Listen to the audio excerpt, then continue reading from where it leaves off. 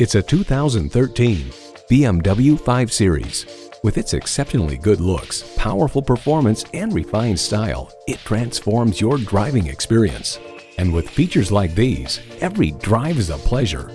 Bluetooth wireless audio streaming, dual zone climate control, refrigerated box located in the console, express open and closed sliding and tilting sunroof, manual transmission, rear wheel drive, external memory control, power tilting steering column, gas pressurized shocks, auto dimming rearview mirror, and intercooled turbo i6 engine.